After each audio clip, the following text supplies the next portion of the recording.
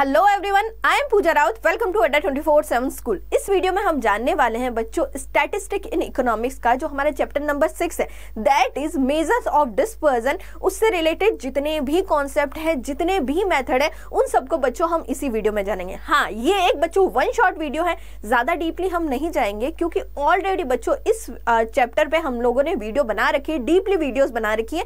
उन सब वीडियोज़ की बच्चों प्ले बनी हुई है प्रॉपर प्ले है। और वो जो प्ले है बच्चों उसका लिंक आपको वीडियो के डिस्क्रिप्शन में भी मिल जाएगा। सो so, अगर हम बच्चों मेजर ऑफ़ डिस्पर्जन की बात करें सो मेजर ऑफ़ डिस्पर्जन जो हमारा सिक्स चैप्टर बच्चों इस चैप्टर को पढ़ने से पहले मैं आपको बता दूँ कि बच्चों चैप्टर नंबर फाइव ज़रूर पढ़ लेना जो कि हमारा सेंट्रल टेंडेंसी या फिर एवरेज को कैलकुलेट करने वाला है। अब आप कहोगे मैम क्यों? क्योंकि बच्चों स्टैटिस्टिक में हर चैप्टर दूसरे चैप्टर के साथ एसोसिएट रहता है। यानी जो स्टैटिस्टिकल टूल है वो हमेशा एक दूसरे के साथ एसोसिएट रहते हैं। सो so, इसीलिए बच्चों मैं आपको रिकमेंड कर रही हूँ कि आप जो सेंट्रल टेंडेंसी या फिर जो हमारा चैप्टर नंबर फाइव है, वो ज़रूर पढ़ ले। अगर आपने पढ़ लिया तो बहुत अच्छी बात है, अगर नहीं पढ़ा है तो बच्चों आप ज़रूर पढ़े। अगर हम मेजर ऑफ़ डिस्पर्जन की बात करें सो मेजर ऑफ़ डिस्पर्जन में अगर हम देखें सो क्या क्या हम कॉन्सेप्ट पढ़ने वाले हैं इस वीडियो में, या फिर हमारे ये चैप्टर है, इसमें क्या क्या कॉन्सेप्ट है सो सबसे पहले हम बात करेंगे जो डिस्पर्जन है, उसका मीनिंग क्या है? डिस्पर्जन होता क्या है? डिस्पर्जन निकालते कैसे हैं? और डिस्पर्जन का एक्चुअल में क्या मीनिंग है, ये हम देखेंगे। नेक्स्ट हम देखेंगे बच्चों डिस्पर्जन को मेजर करने के टू वे हैं। पहला है एब्सोल्यूट मेज़रमेंट सेकंड है रिलेटिव मेज़रमेंट नेक्स्ट हम देखेंगे बच्चों एब्सोल्यूट और रिलेटिव मेज़रमेंट में भी अब मेथड से हम किस तरह से डिस्पर्जन को मेजर करेंगे। तो पहला मेथड है रेंज सेकंड है क्वार्टाइल डिविजन दोनों अलग अलग है। पहला रेंज है सेकंड है क्वार्टाइल डिविजन देखेंगे कि कैसे इनका एब्सोल्यूट और रिलेटिव मेज़रमेंट निकलेगा।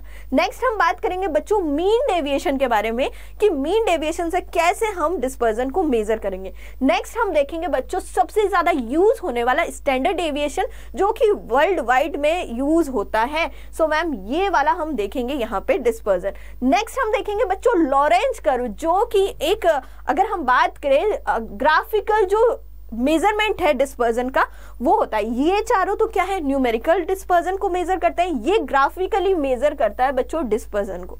ठीक है बच्चों? स्टार्ट करेंगे हम। हमारा जो आ, ये वीडियो है स्टार्ट करेंगे। तो सबसे पहले हम डिस्पर्जन की बात करें।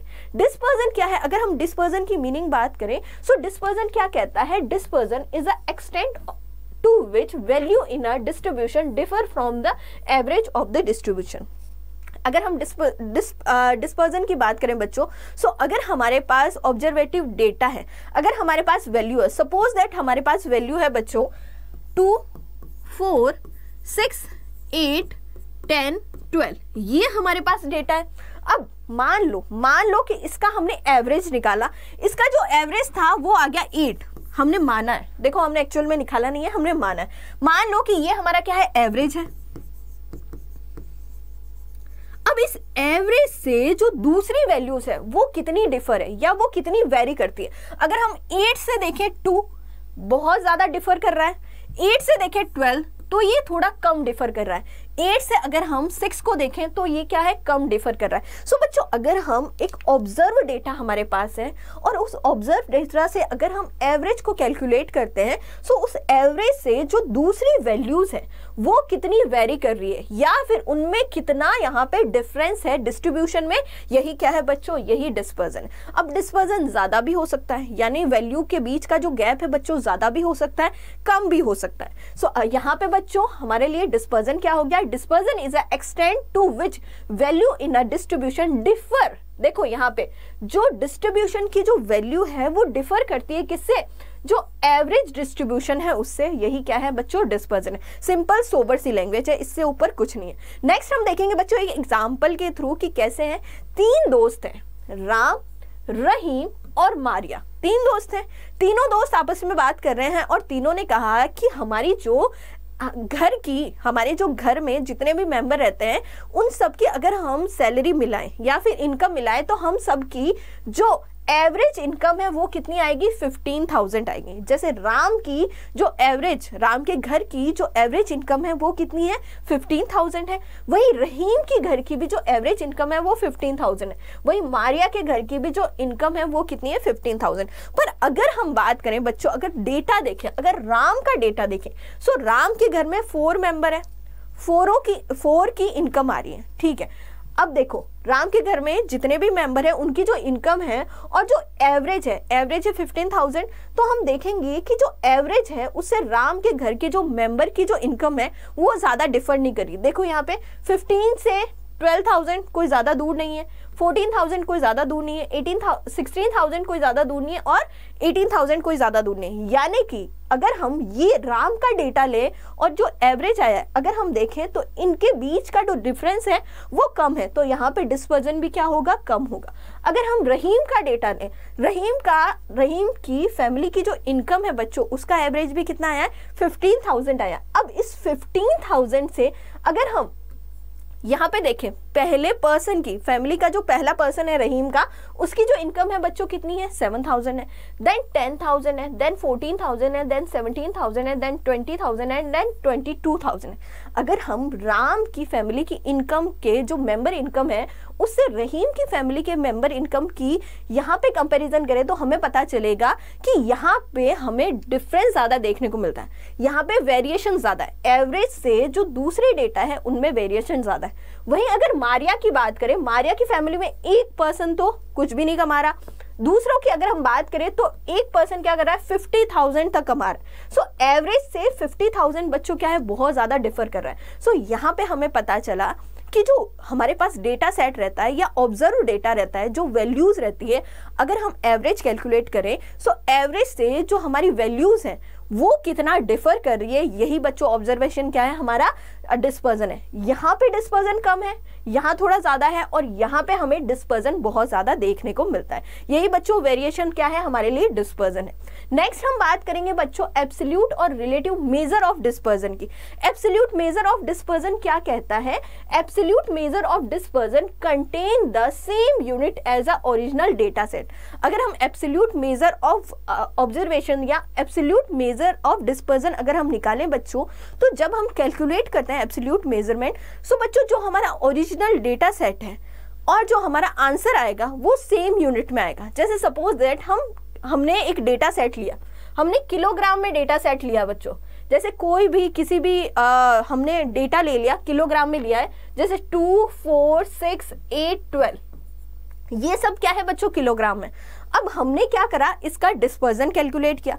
जब हमने इसका डिस्पर्जन कैलकुलेट किया मान लो कि यहाँ पे हमारा आंसर आया है टेन तो हमारा जो आंसर आएगा यानी जो डिस्पर्जन आएगा बच्चों वो भी किसमें होगा? किलोग्राम में होगा।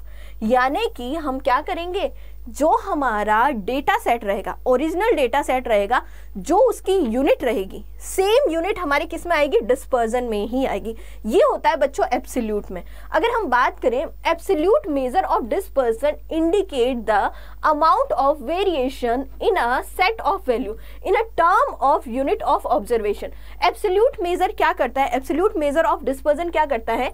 जो सेट ऑफ़ ऑब्जर्वेशन है या सेट ऑफ़ डेटा दिया हुआ है, उसमें कितना वेरिएशन होता है, वही बताता है हमारा कौन? एब्सोल्यूट मेज़रमेंट यानी हम इसको किसी और यूनिट ऑब्जर्वेशन से यहाँ पे बच्चों कंपेयर नहीं कर सकते, जो सेट ऑफ़ डेटा दिया हुआ है। जैसे कि किलोग्राम में जो दिया हुआ है बच्चों हमें डेटा उसी में हम क्या देख सकते हैं? वेरिएशन देख सकते हैं। इनको आपस में ही कंपेयर कर सकते हैं किसमें एब्सोल्यूट मेज़रमेंट अगर हम रिलेटिव मेज़रमेंट की बात करें सो रिलेटिव मेज़रमेंट पे बच्चों, जो सेट ऑफ़ डेटा दिया हुआ है अगर हम उसका रिलेटिव मेज़रमेंट निकालेंगे सो बच्चों, यहाँ पे कोई भी यूनिट ऑफ़ मेज़रमेंट में ये नहीं आएगा।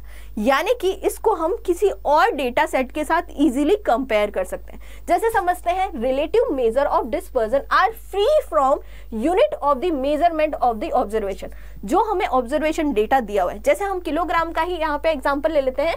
जैसे किलोग्राम में हमें दिया हुआ है बच्चों डेटा सेट जैसे two four six eight twelve ये डेटा ऑब्जर्वेशन हमें दिया हुआ है किलोग्राम में। अब इसका मान लो कि हमने डिस्पर्जन निकाल दिया दैट इज़ एट ठीक है? अब बच्चों, ये एट जो है, वो एक क्या होगा? बिना मेज़रमेंट यूनिट का होगा। हम सिर्फ़ क्या लिखेंगे? नंबर लिखेंगे। हम कोई भी यहाँ पे यूनिट नहीं देंगे। ना किलोग्राम ना मीटर ना लीटर ना टन कुछ भी नहीं। हम क्या देंगे? सिर्फ़ नंबर देंगे। अब आप कहोगे, मैम, ऐसा क्यों? हम ऐसा क्यों करेंगे? क्योंकि बच्चों, यहाँ पे हम रिलेटिव मेज़रमेंट निकाल रहे हैं। और रिलेटिव मेज़रमेंट क्या होता है? बच्चों, एक प्योर नंबर होता है। हम जब रिलेटिव मेज़रमेंट निकालते हैं ना बच्चों, उससे कोफिशियंट निकलता है। और कोफिशियंट क्या होता है? एक बच्चों क्या होता है? एक प्योर नंबर होता है। अब आप कहोगे, मैम, क्यों निकालते हैं? हम रिलेटिव मेज़रमेंट क्यों निकालते हैं? क्योंकि बच्चों रिलेटिव मेज़रमेंट निकालने से हम किसी भी डेटा सेट से सपोज़ दैट हमने किलोग्राम का रिलेटिव मेज़रमेंट निकाला, अगर हमारे पास मीटर का डेटा दिया हुआ है किलोग्राम से मीटर डिफर करता है मीटर का डेटा दिया हुआ है सो हम इजीली उसके साथ कंपेयर कर सकते हैं। अगर हमारे पास टन का डेटा दिया हुआ है सो हम इजीली उसको कंपेयर कर सकते हैं। अब हमें भी पता है किलोग्राम की यूनिट्स अलग है मीटर का यूनिट्स अलग होगा टन की यूनिट्स अलग होगी। सो so, इन सबको आपस में कंपेयर करने के लिए हम यहाँ पे क्या करते हैं? एक प्योर नंबर लेते हैं। ऐसा नंबर जिसमें कोई यूनिट ऑफ़ मेज़रमेंट नहीं है। अब जब यूनिट ऑफ़ मेज़रमेंट नहीं है तो हम इजीली क्या कर सकते हैं? एक डेटा ऑफ़ ऑब्जर्वेशन को इजीली जो दूसरी डेटा ऑफ़ ऑब्जर्वेशन है, जो दूसरी यूनिट के डेटा ऑफ़ ऑब्जर्वेशन है, उनसे इजीली हम यहाँ पे कंपेयर कर सकते हैं। सो मैम अगर हम बात करें relative measure of something known as coefficient of dispersion as a coefficient mean a pure number means a pure number that is independent of the unit of measurement यानी ऐसा unit of number. देखो coefficient मतलब क्या होता है? Pure number जो कि बच्चों, यहाँ क्या होगा? यहाँ पे इंडिपेंड होगा किससे? यूनिट ऑफ़ मेज़रमेंट से, यानी कोई भी। ये जो हमारा नंबर आएगा बच्चों इस पे कोई भी यूनिट ऑफ़ मेज़रमेंट नहीं आएगा सिर्फ़ क्या आएगा? नंबर आएगा। हम यहाँ पे के जी टाइम वैल्यूज़ कुछ भी नहीं लिखेंगे ये सिर्फ़ हमारा नंबर होगा। सो so, बच्चों एब्सोल्यूट मेजर और रिलेटिव मेज़रमेंट हमने जाना। नेक्स्ट हम बात कर लेते हैं बच्चों मेजर ऑफ़ डिस्पर्जन में हमने यहाँ पे देख लिया एब्सोल्यूट मेजर्स को और बच्चों रिलेटिव मेजर को। अब इनकी टाइप्स भी है जैसे हमने मेथड्स की बात की थी सबसे पहली हमारी स्लाइड थी बच्चों जिसमें अगर हम बात करें देखो एब्सोल्यूट मेजर और रिलेटिव मेजर, दोनों में ही क्या हमें देखने को मिलता है? यहाँ पे बच्चों मेथड होंगे, एक जैसे होंगे, बस उनको रिलेटिवली कैसे निकालना है और एब्सोल्युटली कैसे निकालना है? अगर हम एब्सोल्यूट मेजर की बात करें तो हमें रेंज पता चलेगा। रेंज हम एब्सोल्यूट और रिलेटिव दोनों तरीके से निकाल सकते हैं। नेक्स्ट हम देखेंगे बच्चों क्वार्टाइल डेविएशन क्वार्टाइल भी हम यहाँ पे एब्सोल्यूट और रिलेटिव दोनों ही तरह से निकाल सकते हैं। मीन जो है डेविएशन वो भी हम एब्सोल्यूट और रिलेटिव दोनों साइड से निकाल सकते हैं। स्टैंडर्ड डेविएशन इसको भी हम एब्सोल्यूट और रिलेटिव मेज़रमेंट दोनों ही तरह से निकाल सकते हैं। देखो, अगर हमें एब्सोल्यूट मेजर निकालना है सो हमें सिंपल सा range quartile deviation mean deviation या स्टैंडर्ड डेविएशन लिखना है। अगर हमें बच्चों रिलेटिव मेज़रमेंट निकालना है तो हमें क्या लिखना है? कोफिशियंट ऑफ़ वेरियंस लिख सकते हैं, ठीक है? या फिर हम कोफिशियंट ऑफ़ रेंज लिख सकते हैं कोफिशियंट ऑफ़ क्वार्टाइल डेविएशन लिख सकते हैं कोफिशियंट ऑफ़ मीन डेविएशन लिख सकते हैं, ठीक है? कोफिशियंट ऑफ़ वेरिएंस किसका है बच्चों? इसका है स्टैंडर्ड डेविएशन का, ठीक है? यहाँ पे मैं लिख देती हूँ रेंज का हमारा coefficient of range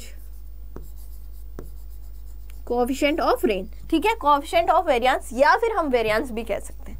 ठीक है कोएफिशिएंट ऑफ़ वेरिएंस किसका है?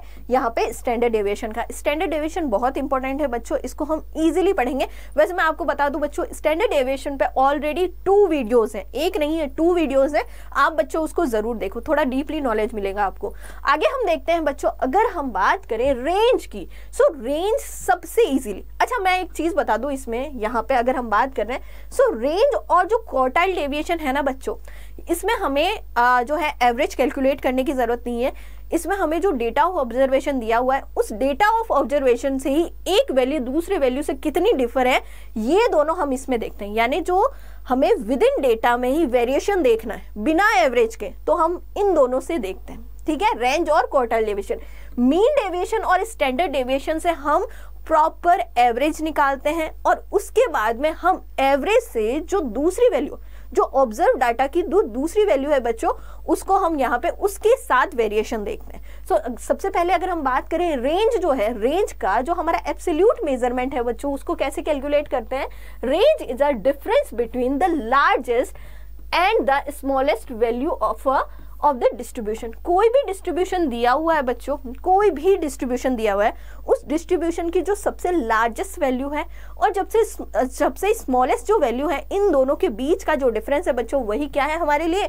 वही हमारे लिए रेंज है। सो so, रेंज को कैलकुलेट कैसे करते हैं? ये हमारा रेंज के कैलकुलेट करने का फॉर्मूला है।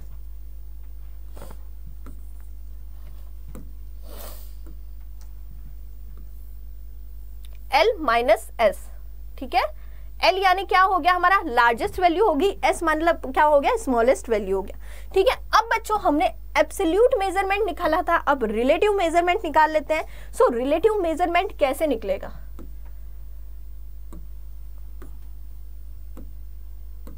सो so, हमारा रिलेटिव मेज़रमेंट कैसे निकलेगा? मैंने क्या कहा? रिलेटिव मेज़रमेंट को हम कैसे बताते हैं? कोऑफिशिएंट से बताते हैं। So ma'am coefficient of range हमारा कैसे निकला है? L माइनस एस अपॉन में एल प्लस एस इस तरह से हम क्या निकाल सकते हैं? कोऑफिशिएंट ऑफ़ रेंज निकाल सकते हैं। अब बच्चों एक क्वेश्चन कर लेते हैं। चलो इससे रिलेटेड क्वेश्चन हमें दिया हुआ है फॉलोइंग वैल्यू 20, 30, 40, 50 एंड 200 कैलकुलेट करना है रेंज हमें एब्सोल्यूट मेज़रमेंट और मैम रिलेटिव मेज़रमेंट दोनों ही कैलकुलेट करना है। ठीक है एब्सोल्यूट मेज़रमेंट यहाँ कर लेते हैं।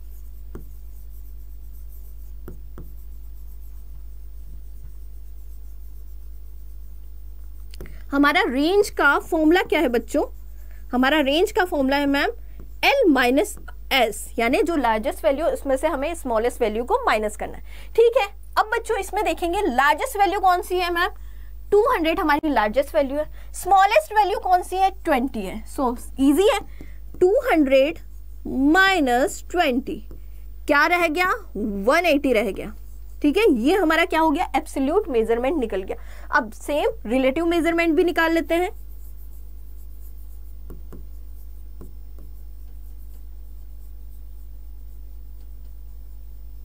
रिलेटिव मेज़रमेंट निकाल लेते हैं तो रिलेटिव मेज़रमेंट को हम क्या कहते हैं? कोऑफिशिएंट ऑफ़ रेंज कहते हैं।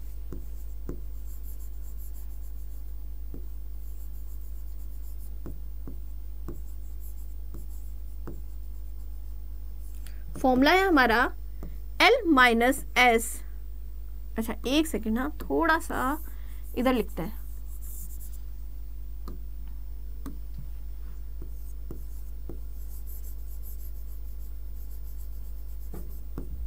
कोफिशेंट ऑफ़ रेंज सो हमारा फॉर्मूला है L माइनस एस अपॉन में L प्लस एस यही फॉर्मूला है, एक बार चेक कर लेते हैं। ठीक है, यही फॉर्मूला है हमारा एल माइनस एस अपॉन में एल प्लस एस ठीक है मैम अब मैम अगर हम बात करें सो मेरा, हमारा एल क्या है? 200 है। सो यहाँ पे लिख लेते हैं। 200 minus twenty upon 200 plus twenty इसको इजी वे में कर लेते हैं। सो यहाँ पे आ जाएगा 180 अपॉन यहाँ पे आ जाएगा बच्चों कितना? 220 दोनों को डिवाइड कर दो आपस में। 180 को डिवाइड कर दो 220 से आपका जो भी आंसर आएगा वो क्या हो जाएगा बच्चों? कोएफिशिएंट ऑफ़ रेंज हो जाएगा। कर लोगे ना इजी है। नेक्स्ट हम देखते हैं बच्चों हमने क्या देख लिया? हमने रेंज के बारे में देख लिया। रेंज बच्चों क्या है? सबसे इजीएस्ट सबसे अंडरस्टैंडिंग वाला हमारा मेथड है। बहुत ही सिंपल मेथड है। सो so, अगर हम रेंज की बात करें एडवांटेज देखते हैं रेंज के कि कौन कौन से एडवांटेज है। Range is a understood and use frequent frequently because it is a simple simplicity ये बहुत सिंपल है और इसको ईजिली हम क्या कर सकते हैं? समझ सकते हैं। एग्ज़ाम्पल अगर हम बात करें हम बच्चों रोज टी वी पे या फिर आप न्यूज़पेपर में देखते होंगे कि जो हमारा आ, जो आ, जो फॉरकास्ट होता है बच्चों जैसे टेम्परेचर का फॉरकास्ट या जो मौसम जो फॉरकास्ट होता है उसके बारे में बताते हैं तो वो मैक्सिमम और जो मिनिमम टेम्परेचर है उसके बारे में बताता है। सो so, यहाँ पे बच्चों मैक्सिमम और मिनिमम टेम्परेचर जो है वो क्या है? एक तरह से हमारा रेंज है। डे टू डे लाइफ में यूज़ होते हैं सारे ही स्टेटिस्टिकल टूल बस हमें देखने की ज़रूरत है। सो so, यहाँ पे हमें एग्ज़ाम्पल देखने को मिलता है कहाँ जो टेम्परेचर होता है उसका मिनिमम और जो मैक्सिमम जो होता है बच्चों टेम्परेचर वो किसका एग्ज़ाम्पल है? हमारे रेंज का एग्ज़ाम्पल है। अगर हम बच्चों लिमिटेशन की बात करें तो इसकी लिमिटेशन क्या है? Range is unduly affected by extreme value range बच्चों, किससे इफ़ेक्ट होता है?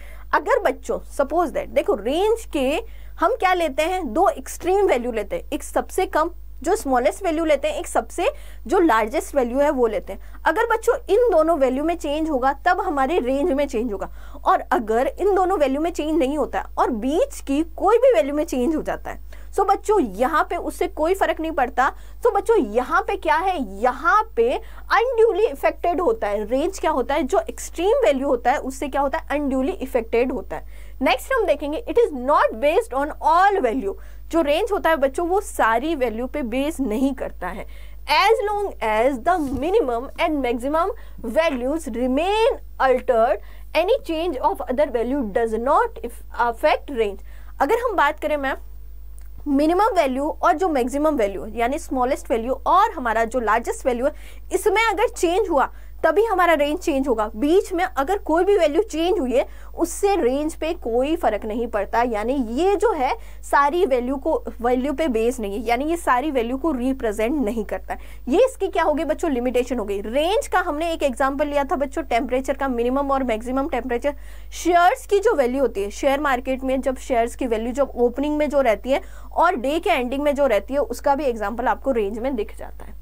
ठीक है बच्चों नेक्स्ट हम देखेंगे it cannot be calculate for open ended frequency distribution जो बच्चों ओपन एंडेड फ्रिक्वेंसी डिस्ट्रीब्यूशन होते हैं। ओपन एंडेड फ्रिक्वेंसी डिस्ट्रीब्यूशन कैसे होंगे?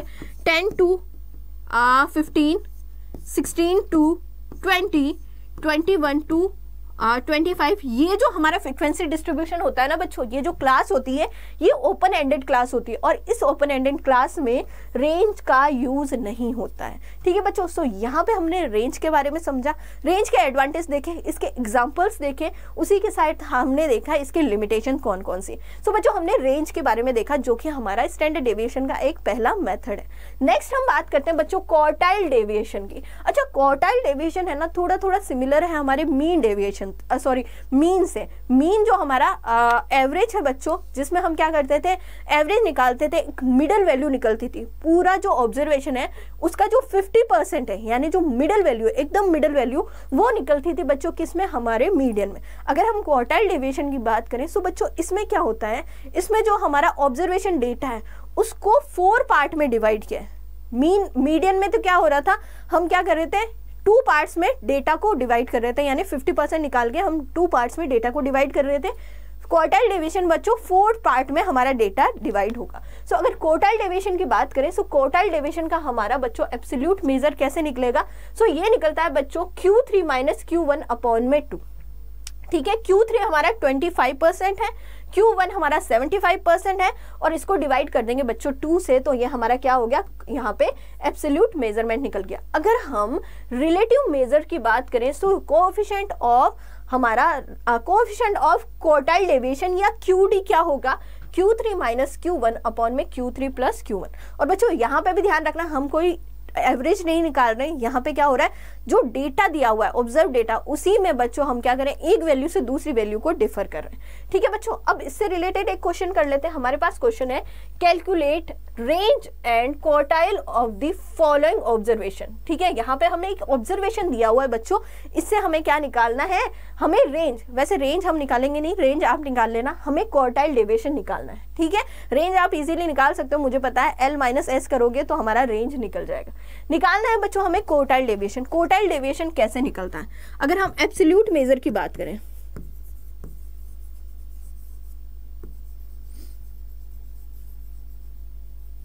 अगर हम एब्सोल्यूट मेज़रमेंट की या एब्सोल्यूट मेजर की बात करें तो मैम कैसे निकलेगा? सिंपल है मैम यहाँ पे ये हमारा क्यू डी का formula Q three minus Q one upon में टू ठीक है, ये हमारा क्या है? क्वार्टल डेविएशन का फॉर्मूला है। अब बच्चों, यहाँ पे क्वार्टल डेविएशन निकालना है Q three minus Q one निकालना है। सो मैम पहले हमें क्या निकालना पड़ेगा? क्यू थ्री निकालना पड़ेगा। सो यहाँ पे पहले हमें क्यू थ्री निकालना है। ठीक है। अब बच्चों Q3 कैसे निकलता है? सबसे पहले अगर हम बात करें सो Q3 निकालने का फॉर्मूला क्या है बच्चों हमारा? Three N N plus one upon में हमारा यहाँ पे आ जाएगा N N plus one upon में एन ठीक है बच्चों ये हमारा क्या है? क्यू थ्री निकालने का फॉर्मूला अच्छा सॉरी एक सेकेंड एक सेकेंड एक सेकेंड एक सेकेंड थोड़ा सा मिस्टेक हो गया। थोड़ा सा मिस्टेक हो गया। यहाँ पे आएगा फोर यहाँ पे क्या आएगा? फोर ये हमारा Q3 निकालने का फॉर्मूला है। अब बच्चों यहाँ पे n कितना है? नंबर ऑफ़ ऑब्जर्वेशन कितना है? One two three four five six seven eight nine ten eleven ठीक है? N कितना है? हमारा इलेवन है। सो so, यहाँ पे मैम सॉल्व करेंगे इसको। यहीं पे लिख देती हूँ मैं। Three eleven plus one upon में फोर अब क्या करना है? इलेवन प्लस वन को ऐड कर लो ट्वेल्व हो गया. ट्वेल्व को मल्टीप्लाई कर दो थ्री से और डिवाइड कर दो बच्चों फोर से. जब हम ये करेंगे, जब हम ये करेंगे तो हमारे पास क्या आ जाएगा बच्चों? यहाँ पे आ जाएगी नाइन्थ वैल्यू कौन सी वैल्यू आएगी? नाइन्थ वैल्यू कर लेना बच्चों. यहाँ पे आ जाएगा. थर्टी सिक्स आएगा थर्टी सिक्स को आप फोर से डिवाइड कर दो. ठीक है, जब 36 को 4 से डिवाइड करेंगे तो क्या आ जाएगा? नाइन्थ वैल्यू अब बच्चों, जो हमारे पास ऑब्ज़र्व डेटा है, इसमें हमें नाइन्थ वैल्यू देखनी है। सो नाइन्थ वैल्यू क्या हो गई? One two three four five six seven eight nine अच्छा एक चीज़ ध्यान रखना, हमारा जो ये डेटा ऑफ़ ऑब्जर्वेशन है बच्चों, एक क्या दिया हुआ है? एक सीरीज़ में दिया हुआ है। यानी कि छोटे से बड़ी होती हुई यहाँ पे क्या है? सीरीज़ है। अगर बच्चों, आपको सीरीज़ उल्टी फुल्टी दिख रही है, यानी कि कोई बड़ी वैल्यू आगे है, कोई छोटी वैल्यू पीछे है तो उनको एकदम सही सीरीज़ में हमें क्या करना है? पहले अरेंज करना है देन हमें यहाँ पे क्या करना है? हमें क्वार्टाइल डेविएशन मीन डेविएशन वैसे मीडियम जब आपने निकाला होगा ना, तब आपने देखा होगा ना कैसे हम अरेंज करते हैं अपनी सीरीज़ को। ठीक है बच्चों तो हमारी नाइन्थ सीरीज़ कौन सी हो गई यहाँ पे? नाइन्थ वैल्यू क्या हो गई? 51 हो गई। सो बच्चों, यहाँ पे हमारा क्या होगा? नाइन्थ वैल्यू 51 ये हमने Q3 में कैलकुलेट किया। Q1 में कैलकुलेट कर लेते हैं। सो हमारा Q1 क्या हो जाएगा बच्चों? हमारा Q1 का फॉर्मूला है n प्लस वन अपॉन में फोर ये हमारा Q1 का फॉर्मूला है। अब बच्चों, यहाँ पे कैलकुलेट करते हैं। इसको हम n प्लस वन अपॉन में फोर ठीक है?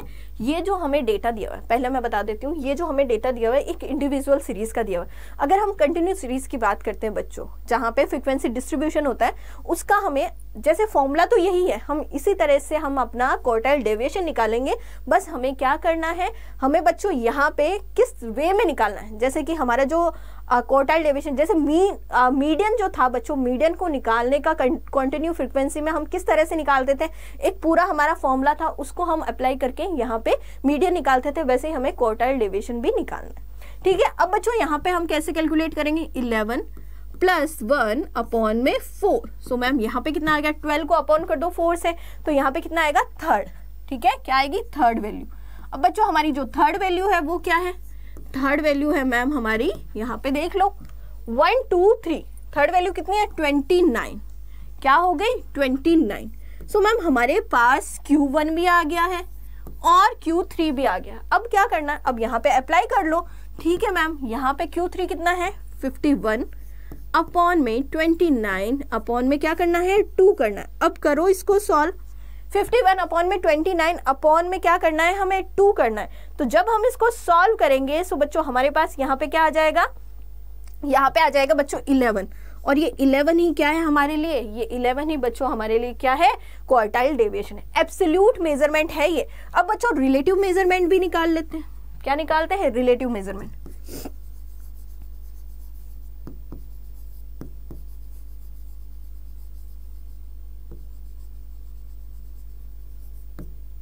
ये यू है। ठीक है? रिलेटिव मेज़रमेंट कैसे निकलेगा? Coefficient of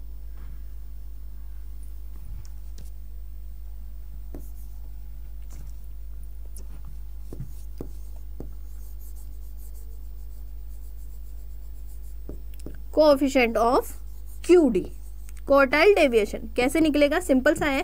Q three minus Q one upon में Q three plus Q one.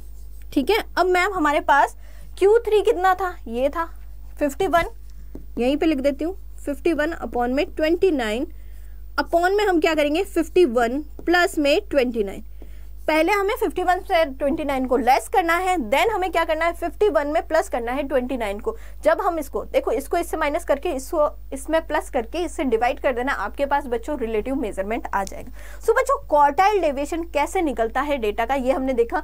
ये हमारे पास इंडिविजुअल सीरीज़ है। अगर हमारे पास कंटिन्यू सीरीज़ है मेथड यही है। बस हमें क्या करना है बच्चों? उस सिचुएशन में हमें, जैसे हम मीडियन कैलकुलेट करते थे, ऐसे सी एफ़ निकाल के वैसे हमें क्वार्टर यहाँ पे क्यू थ्री और क्यू वन भी कैलकुलेट करना है। ठीक है? नेक्स्ट हम बात करते हैं बच्चों मीन डेविएशन के बारे में। अब बच्चों, जो एवरेज निकाल के जो हम डिस्पर्जन कैलकुलेट करते हैं, यानी वेरिएशन देख रहे हैं ऑब्ज़र्व डेटा में वो मेथड आ गया है मीन डेविएशन और स्टैंडर्ड डेविएशन अगर मीन डेविएशन की बात करें तो बच्चों मीन डेविएशन क्या करता है? इग्नोर करता है बच्चों साइन को। अगर हम जब मीन डेविएशन कैलकुलेट करते हैं ना तो जो भी साइन है, जैसे प्लस है माइनस है तो हम साइन को इग्नोर करेंगे। हमारी हर वैल्यू क्या होगी? बच्चों पॉजिटिव होगी। हम सारे ही जो वैल्यूज़ हैं या जो डेविएशन है, यानी जो वैल्यूज़ के बीच में जो वेरिएशन है बच्चों, वो हमारे लिए क्या होगा? पॉजिटिव होगा।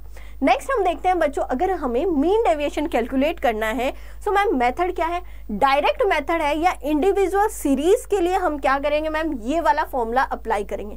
M D sigma modular D modular D यानी यहाँ पे क्या है बच्चों? डेविएशन है। अगर हम कंटिन्यू डिस्ट्रीब्यूशन या कंटिन्यू फ्रीक्वेंसी डिस्ट्रीब्यूशन है हमारे पास। सो so, मैम हम कैसे एमडी को कैलकुलेट करेंगे? सिग्मा एफ़ क्योंकि बच्चों फ्रीक्वेंसी डिस्ट्रीब्यूशन आ जाएगा। So sigma F modular D upon में सिग्मा एफ़ से हम क्या करेंगे? यहाँ पे मीन डेविएशन को कैलकुलेट करेंगे। कैसे करेंगे? हम देख लेते हैं बच्चों यहाँ पे अगर हम बात करें for mean deviation it is a coefficient of mean deviation अगर हम बच्चों कोफिशियंट ऑफ़ मीन डेविएशन को कैलकुलेट करेंगे सो कैसे करेंगे? अच्छा एक और चीज़ यहाँ पे मैं आपको बता दूँ। मीन डेविएशन बच्चों टू टाइप से कैलकुलेट हो सकता है। कौन कौन सा? एक तो बच्चों अर्थमेटिक मीन से कैलकुलेट हो सकता है, एक हो सकता है बच्चों मीडियन से। अब बच्चों, चाहे हम अर्थमेटिक मीन से कैलकुलेट करें तो भी यही फॉर्मूला है। अगर हम मीडियन से कैलकुलेट करें तो भी यही फॉर्मूला है किसके लिए? डायरेक्ट सीरीज़ के लिए। अगर हमें अर्थमेटिक मीन से कैलकुलेट करना है, यहाँ पे क्या आ जाएगा? अर्थमेटिक मीन आ जाएगा। और अगर हमें मीडियन से कैलकुलेट करना है तो हमारा क्या आ जाएगा? एम डी यहाँ पे क्या आ जाएगा? मीडियन आ जाएगा। ठीक है? हमें नीचे छोटा सा लिखना है मीडियन और हमारा फॉर्मूला यही होगा। सिग्मा मॉड्यूलर डी अपॉन में क्या होगा? एन यही हमारा फॉर्मूला है। सेम कॉन्टिन्यू डिस्ट्रीब्यूशन में भी यही होगा। यहाँ पे अर्थमेटिक मीन या फिर क्या आ जाएगा? मीडियन आ जाएगा। फॉर्मूला सेम रहेगा। ठीक है? अब बच्चों, अगर हमें कोफिशिएंट निकालना है, ये हमारा एब्सोल्यूट मेज़रमेंट है। अगर हमें कोफिशेंट निकालना है, यानी हमें रिलेटिव मेज़रमेंट निकालना है तो हम कैसे निकाल लेंगे? कोफिशेंट ऑफ़ मीन डेविएशन अगर हमें कोफिशेंट ऑफ़ मीन डेविएशन निकालना है, अगर हमने मीन डेविएशन निकाला है, बच्चों अर्थमेटिक मीन से तो हम क्या करेंगे? जो हमने मीन डेविएशन निकाला अर्थमेटिक मीन से, उसको हम डिवाइड कर देंगे बच्चों किससे अर्थमेटिक मीन से। ये वाला जो हमारा सिंबल है ना अर्थमेटिक मीन का है, भूलना मत।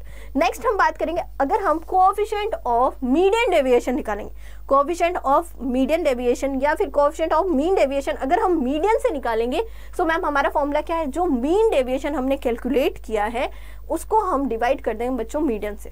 पर ये जो मीन डेविएशन है, वो मीडियन से कैलकुलेट होना चाहिए। जिस हम अगर जिस भी स्टैटिस्टिकल टूल से एवरेज को कैलकुलेट करेंगे, उसी एवरेज को हम क्या करेंगे? यहाँ पे डिवाइड करेंगे। यहाँ हमने अर्थमेटिक मीन से कैलकुलेट किया सो डिवाइड कर दिया अर्थमेटिक मीन से। यहाँ पे हमने एमडी जो है मीन डेविएशन है मीडियन से कैलकुलेट किया तो डिवाइड किससे करेंगे? मीडियन से डिवाइड करेंगे। नेक्स्ट हम बच्चों देख लेते हैं। अब एक क्वेश्चन तो हमारे पास वैल्यूज़ दी हुई है बच्चों।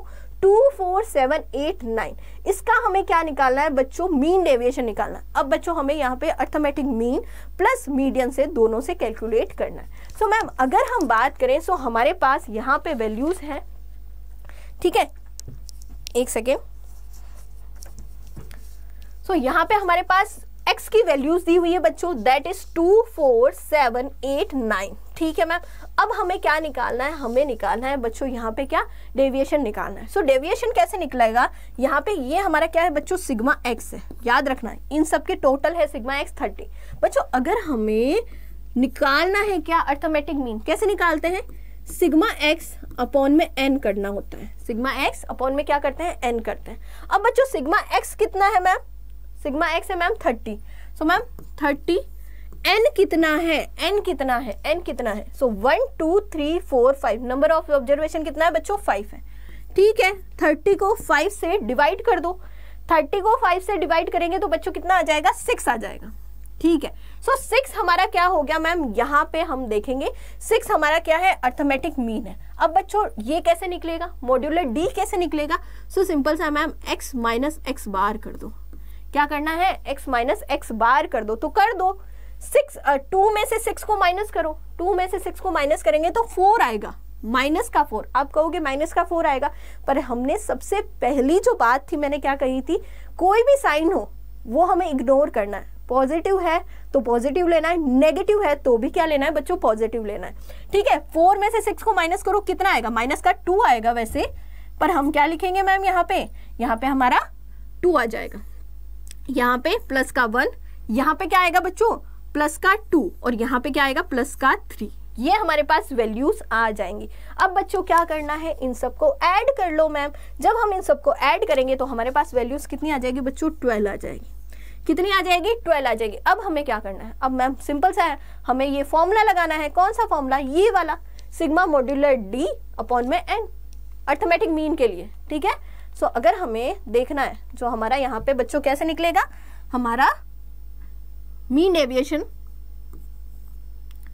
ठीक है एक सेकेंड हाँ।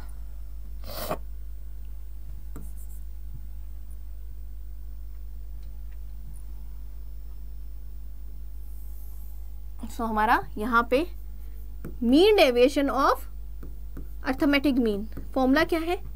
सिग्मा मॉड्यूलर डी अपॉन में एन सिग्मा मॉड्यूलर डी क्या है बच्चों? ये हमारा सिग्मा मॉड्यूलर डी है।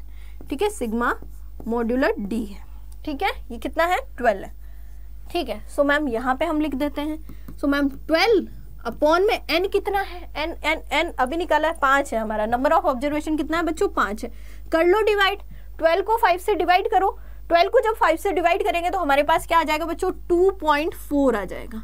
हमने बच्चों मीन डेविएशन कैलकुलेट किया है किससे? अर्थमेटिक मीन से। अब बच्चों बारी किसकी है? मीडियन की है। मीडियन कैसे निकालते हैं? मीडियन निकालना आना चाहिए बच्चों आपको। कैसे निकालते हैं हम मीडियन सो मैम अगर हमें मीडियन निकालना है सो so, हम कैसे निकालते हैं? एन प्लस वन अपॉन में टू यही हमारा फॉर्मूला है मीडियन निकालने का हमारे इंडिविजुअल सीरीज़ में। सो so, मैम यहाँ पे एन कितना है? एन मैम हमारे पास हमने निकाला है। कितना है? फाइव प्लस वन अपॉन में कितना आ जाएगा बच्चों? टू आ जाएगा। फाइव प्लस वन करो, सिक्स सिक्स को अपॉन करो, यहाँ पे किससे? यहाँ पे हम अपॉन करेंगे बच्चों एक सेकेंड यहाँ पे हम क्या करेंगे? Six plus one sorry five plus one, six six को हम डिवाइड कर देंगे टू से। सो मैम यहाँ पे क्या आ जाएगा? थर्ड, थ्री आ जाएगा। ठीक है? क्या आ जाएगा? थ्री आ जाएगा। यानी हमारी third value third value third value third value, third हमारा जो ऑब्जर्वेशन है बच्चों, उसमें थर्ड वैल्यू क्या है मैम सेवन है। क्या है? सेवन है। अब जब सेवन है सो यहाँ पे हमें एक और बनाना पड़ेगा। एक सेकेंड हाँ। इसको थोड़ा सा ऐसे करती हूँ मैं।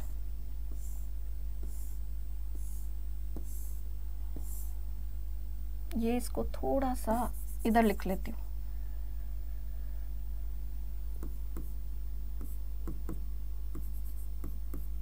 में एन ठीक है? अब बच्चों यहाँ पे हमारा इसका मॉड्यूलर अलग आएगा। ठीक है? अब बच्चों क्या हो गया? थर्ड वैल्यू हमारी कितनी है? सेवन है। कितनी है? सेवन है। अब बच्चों यहाँ पे हमारा यहाँ पे कैसे कैलकुलेट करेंगे? सिंपल सा है। एक्स माइनस मीडियन को माइनस करेंगे। ठीक है मैम मीडियन को क्या करेंगे? माइनस करेंगे। सो so, मैम हमारा मीडियन कितना है? सेवन है। जो हमने कैलकुलेट किया है सेवन है। सो so, टू में से सेवन को माइनस करो तो कितना आएगा? फाइव आ जाएगा। फोर में से सेवन को माइनस करो तो कितना आएगा? थ्री आएगा। सेवन में से सेवन को माइनस करो, ज़ीरो आएगा। एट में से सेवन को माइनस करो, वन आएगा। नाइन में से सेवन को माइनस करो, कितना आएगा? टू आएगा। ठीक है? ये हमारे पास क्या आ गया बच्चों? मॉड्यूलर डी आ गया मीडियन का। इसको कैलकुलेट कर लो। सो जब हम इसको five plus three eight eight plus nine nine plus two eleven कितना आ गया? इलेवन आ गया। अब बच्चों क्या करना है? अब हमें मीन डेविएशन कैलकुलेट करना है। एमडी कैलकुलेट करना है किस से? हमारा मीडियन से। अब बच्चों सेम फॉर्मूला है फॉर्मूला चेंज नहीं होगा हमारा।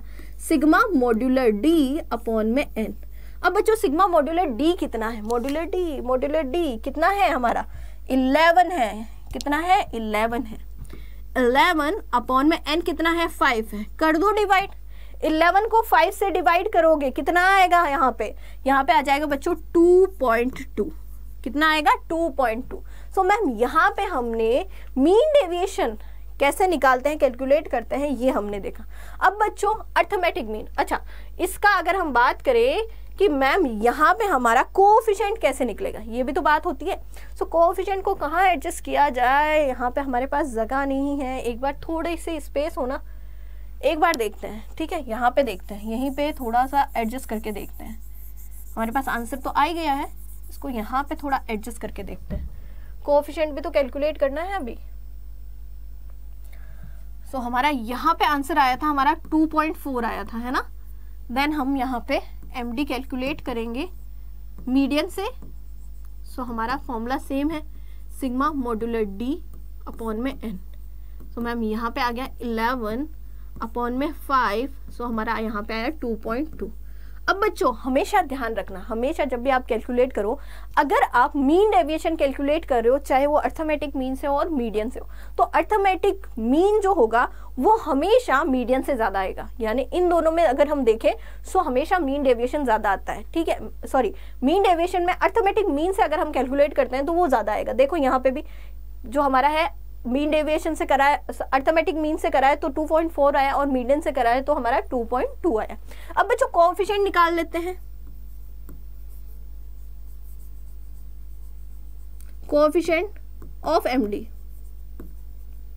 ठीक है मीन डेविएशन फॉर्मूला क्या है? अगर हम इसका निकालेंगे सो हमारा फॉर्मूला है एमडी जो कि हमने अर्थमेटिक मीन से निकाला है और उसको हम क्या करेंगे? अर्थमेटिक मीन से डिवाइड कर देंगे।